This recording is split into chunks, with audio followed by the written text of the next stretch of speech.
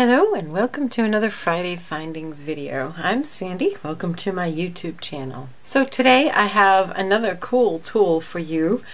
This one is called a bail making pliers. I've heard it called different names, but that's what I call it. And basically, it's this rather funky looking plier. One side is just a straight shaft, and this has a protective plastic sleeve on it, which I'll talk about in a moment.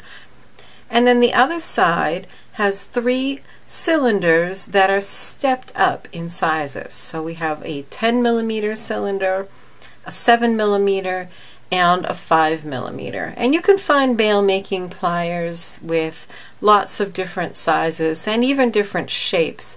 Wubbers is a brand that makes a whole amazing set of pliers with unique shapes.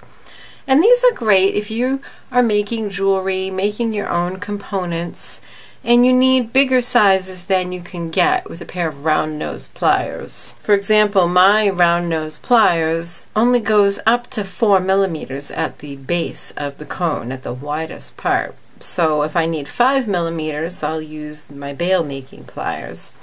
And you use these the same way you would um, any pliers that you're making shapes. You can grasp your wire. And what this plastic sleeve does is really protect your work from getting marred, from getting crunched.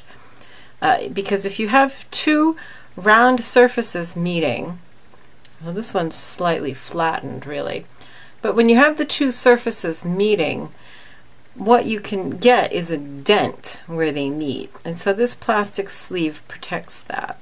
So you just put your wire in there, squeeze the pliers, and then rotate. So you could make a coil this way.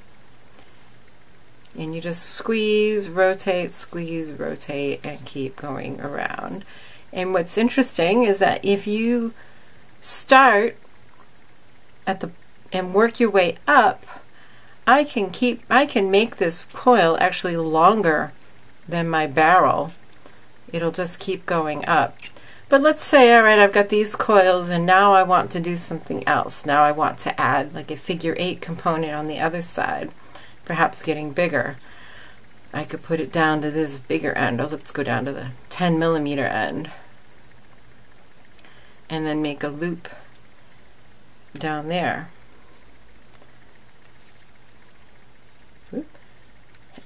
So you can get very creative and make interesting loopy shapes with the different sizes that you have here. And you see how everything flows very nicely and is nice and smooth. And that's the result of using the pliers like these that hold it all together. And because this edge, this inner edge is all on the same plane, it really helps you to keep your work nice and consistent. So if you're looking to experiment and play with wire wrapping, a pair of bail making pliers just might be for you. If you like this video, please make sure you have subscribed to my YouTube channel so you'll see more like it. You can follow me on Facebook, Pinterest, Instagram, and on my blog. Happy creating. Bye-bye.